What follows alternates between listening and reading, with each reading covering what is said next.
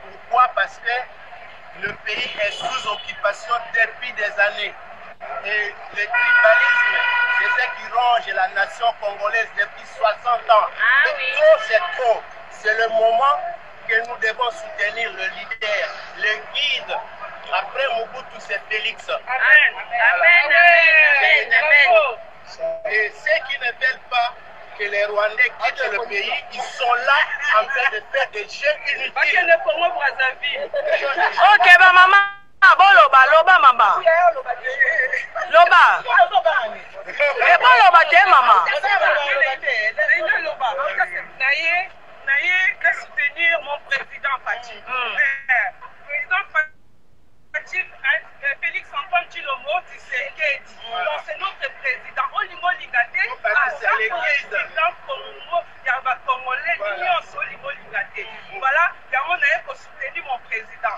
Et nayokaki na ba réseaux sociaux polémique moko boye etika ke mon président Fatshi akendaki na na oyo oh, na Rwanda na Rwanda bala alati euh, mokase sa chaussette ah, ah, ah. yango nga sikoyo nga mpe nalati mokase sa chaussette mokasa balataka yango sa chaussette oyo balobaki bongo bakokoloba te bakokopemba boma te ayiba te jaloux te tozalisi biso ba congolais tosangana totika kobomana kofingana eza na ntina moko te biju chilombo biju chilombo yango wana mama ni chilombo olobi yenga ye yenga ye mama ni chilombo na chateau rouge nga ye ah. nazali wana mpona kosoutenir ba f nazali wana nsima président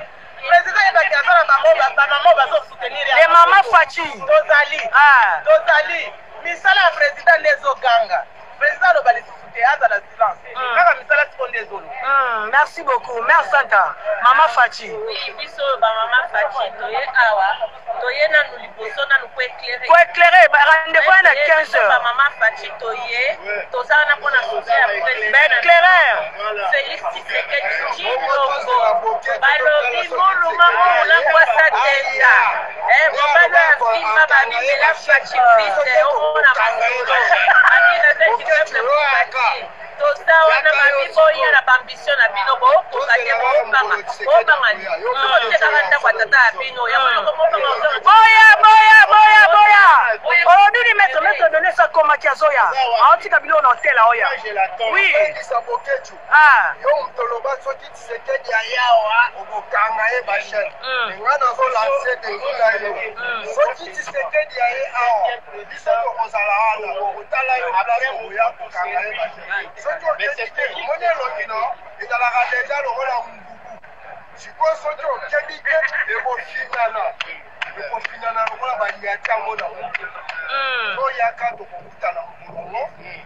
tokokanga ye nde basinga deja omoni ndenge ozalaka deja oza ya kotebisa biso bajeune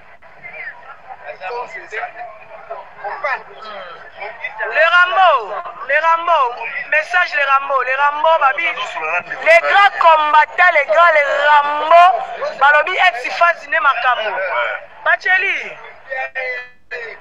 Ah, loba. Hmm. verite ezaka moko te omata tokita faci aza wana ndeko na biso aza nde ndeko na biso omoi aza ndeko na biso ata banome ye ata banome ye biso tosoutenir ye komisa tobengana motu anome ye kotelemela motu wana ti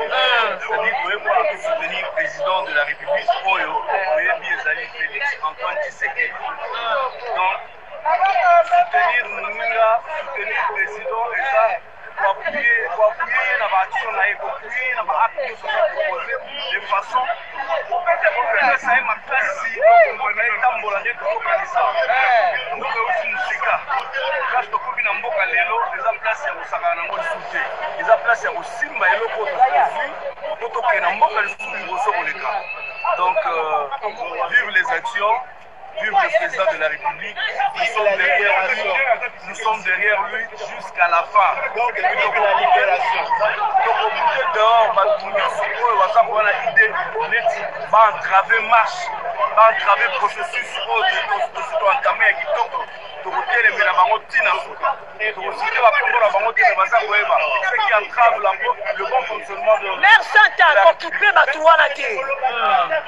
Merci beaucoup papa, merci. Bokipe bango te. Bandeko bo comprendre ba fayulus te ba envahir biso bato ya meseke ta diang. Donc eh, bali ba perturbe makambo tozo comprendre te ba ndoki ya maseke 4. Na ezaki bango na binga mama Fatshi na kwaya na terrain avant. ba comprendre jango te naye ko controle terrain avant do bakisi oyo balonaki wana na tiango na mai na buaki yango se fini baa na efe moko te oyo oh, mama, mama fati ngamu nabotaki fati papa nsima na bo bato si bamona nga nde naoloba nsima na bo nalobi bo na mama fati ngamu nabotaki fati